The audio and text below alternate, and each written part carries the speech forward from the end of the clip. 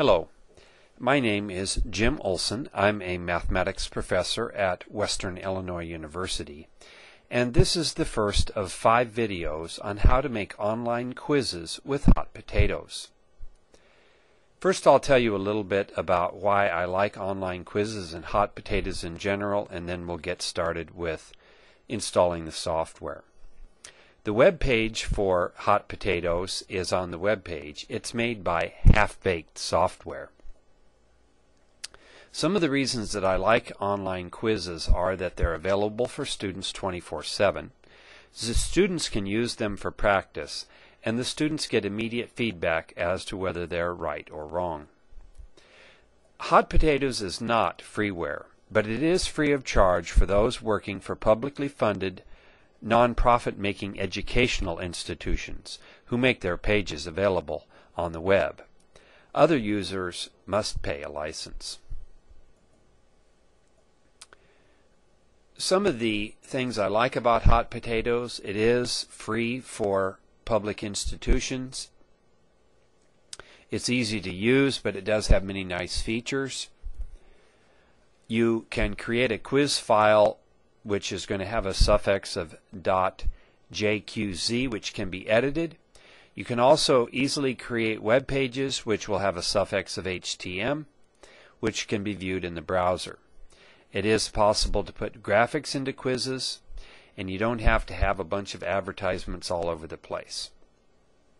Hot Potatoes is made at the University of Victoria in Canada. It is software which you download and run on your computer. Therefore, it is not necessary to be online in order to create the quizzes. Hot Potatoes does have a variety of different types of quizzes and crossword puzzles that you can create. I will focus on the J quiz, and then the others are fairly easy to learn on your own. There are going to be five videos the first video I'm going to show you how to download, install, run, and register the software. We're going to download the software from the Hot Potatoes website. You can probably Google for Hot Potatoes and find this fairly easily. When you get to the Hot Potatoes website, they have a lot of good information here. You can go to the Downloads page and I am going to download the Hot Potato 6.2 installer for Windows. And I usually like to save my downloads to my my downloads area. So I'll do that now. Once the download is done you're going to want to install the program so I'm going to navigate over to my download area and I'm going to run the executable, the setup hot pot program.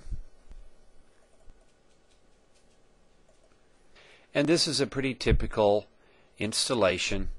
You're going to have to answer a few questions like what language you want to use and so on you'll have to accept the agreement, and so on. And go ahead and proceed as you normally would to install software. Now that we've installed the software, we're ready to run the software. So I'll go Start, Programs. You should have Hot Potatoes 6 here.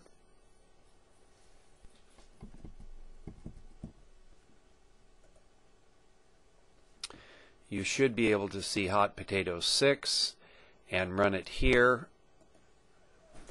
Or the other option is on the desktop you'll probably have the Hot Potato 6 icon which shows a hand holding on to a baked potato. And these are the various types of quizzes you can make. I'm going to be demonstrating the J quiz. So this is the J quiz interface. And right up here is where we type the title of the quiz.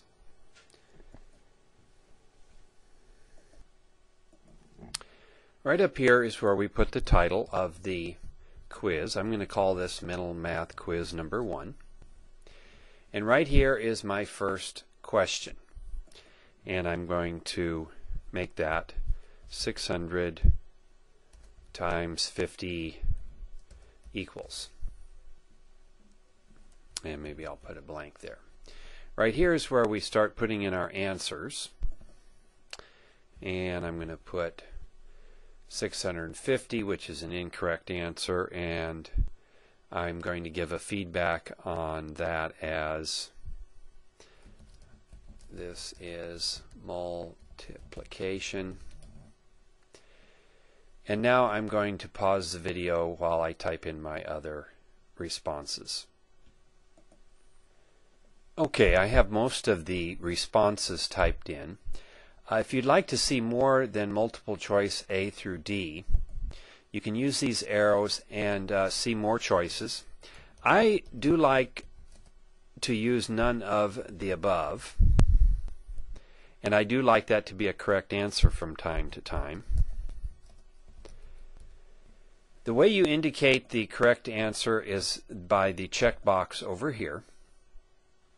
And um, in the next video, I'm going to be showing you how to save this quiz file and make it a web page. But for right now, the last thing I'd like to show you is how to register the software. If you go under the Help,